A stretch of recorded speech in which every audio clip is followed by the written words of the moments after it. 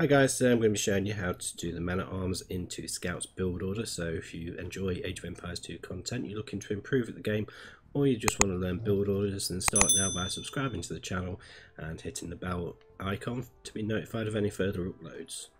Okay, so the first thing you do, standard start, make two houses with your starting villages and then send them over to sheep.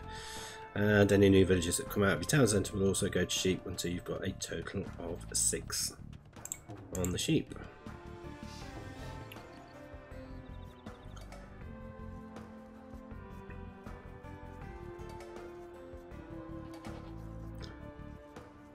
So this is one that I've found, well, I've not really been able to find any build orders for this one, so kind of um, had to sort of make this one up a little bit.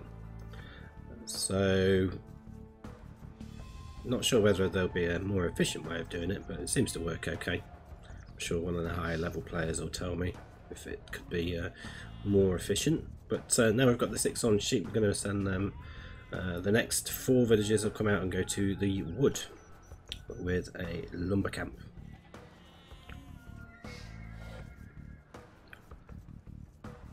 So at this point just keep scouting your map. You want to try and find your resources as soon as you can.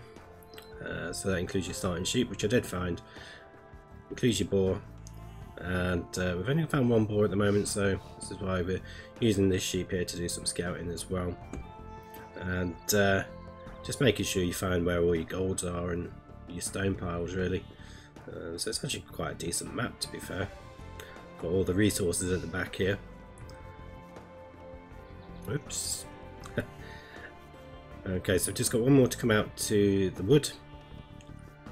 And then we'll uh, be sending one more after that to lure the first boar. Which is going to be over here. So we're going to take that one first. Uh, the reason being it's sort of furthest for, um, forward out of the two and it just means that it's a bit more vulnerable to being stolen from the uh, opponent. I'm sure we've all had games where the opponent comes down with their scout, hits it a couple of times and runs off, steals your boar. So the next villager to come out is going to go over here, make uh, two houses, and then the next villager to come out is going to go to the berries. So it's going to actually be the next four villagers are going to come out and go to berries. So once this village is done making the houses, they're going to go to berries as well. So we're going to have five on berries.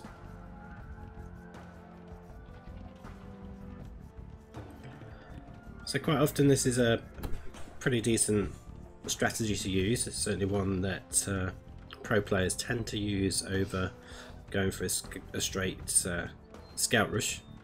The reason being sort of man-at-arms or drush play is a lot more um, I suppose it's just a lot more used nowadays uh, because the meta's changed. We need to be sort of getting on the attack and uh, delaying the opponent from walling up.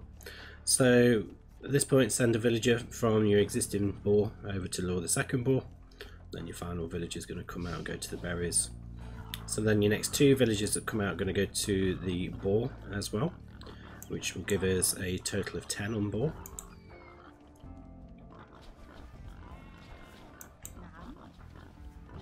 No, it won't. Totally 9 on boar. you just went wandering off.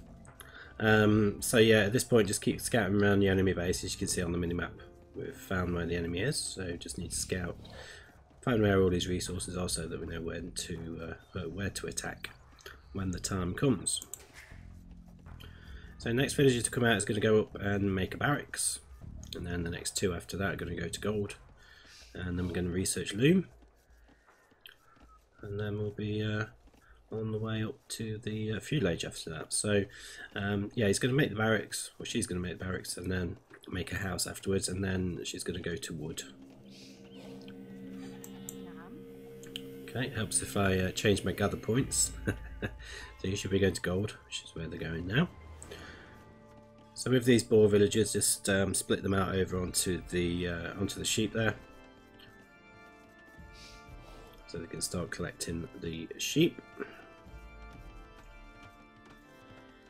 So yeah, what was I saying? The um, this this strategy then it seems to be more preferred because the the current meta is that uh, you are um, wanting to wall up pretty quickly. So just getting in there a little bit earlier with uh, an attack will hopefully just prevent them from being fully walled uh, by the time your scouts come in. Okay, so now um, we're on the way up to the Feudal Age. We're going to take five villages from the food and send them over to wood with a lumber camp. And then those remaining four are just going to stay there collecting from the sheep. At this point we want to be making militia. We need three militia from the barracks. And then once you've got a total of 40 gold saved up in the bank, we've got 31 now so I could probably have uh, dropped some gold off. Oh, not quite. Um, once you've got 40 in the bank, like we have now, so I did drop it off, um, you can send those villagers over to berries because we don't need gold at the moment, but uh, food will be quite uh, important. So with these militia, we're going to send those forward now, make them join up with the scout, and then uh, you'll have the militia and the scout on the attack at the enemy resources.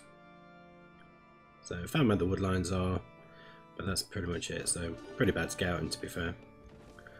But there must be something around here, so we're going to go up there and have a little look. But now Feudal Ages come in, we want to immediately research Man at Arms upgrade and double bit axe from the lumber camp.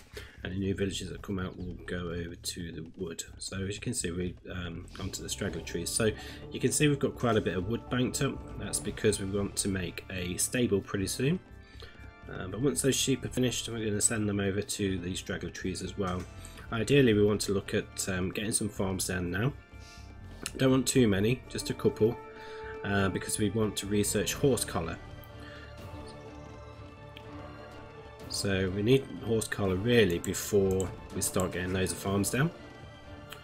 But at this point, now we've got men at arms, just go onto the resources and keep attacking the enemy and uh, just causing as much of a disruption as you can so we're going to have three farms down. Horse collar is on its way up, so there'll only be two that won't be affected by it. And from this point onwards, it's just a case of getting farms down and trying to get a, a good economy going. So as you can see, all that wood that we did have banked up, we're now placed down for uh, for farms. Now that we know horse collar is in, so that won't help us immediately, but it will help us in the long run. Uh, just because we won't have to replace the farms as often which means that uh, we'll have a little bit of a uh, wood saving, which will be which will be nice. Try not to get housed like I have. Um, but at this point, yeah, just keep going in, just keep attacking. Uh, obviously, they're focusing on the economy at that point, but. Yeah, try not to let them wander off into the town centre there. Um, so yeah, in terms of the economy, just keep making farms. Uh, once your berries have run out, send uh, five of them over to gold and make two farms with uh, two of the other ones. And at this point we just want to keep making uh, cavalry scouts. So you probably want three or four new scouts just to join up with the rest of your army who are going around causing um, a bit of havoc still.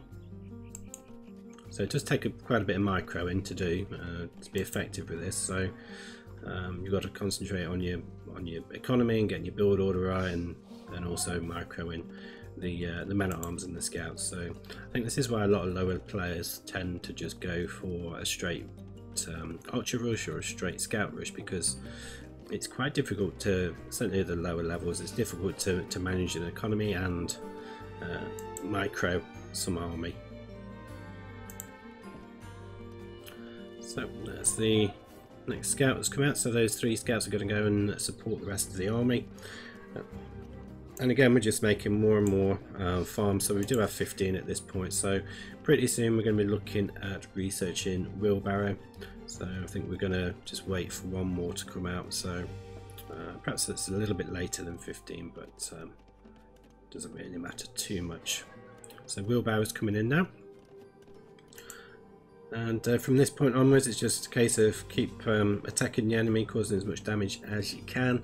Keep getting farms down uh, depending on what your game plan is going forward, if you're going to transition into knights, you may want to um, research the mining upgrade and also get a couple more um, villages on gold there, just so that by the time you hit the castle age, you're going to be um, quite well equipped to go with the uh, with the knights into a, a, good rush. But at this point, yeah, just keep going around, keep attacking, picking off villagers where you can, getting that uh, getting that lead that you need to, and then uh, yeah, it's pretty much a case of just keep focusing now on booming your economy and uh, causing as much damage as you can and a distraction with your troops as uh, as possible. So that's it, guys. Thanks ever so much for joining me today. If you did enjoy this one and you want to see more build orders, and subscribe to the channel. But uh, I shall see you on the next one.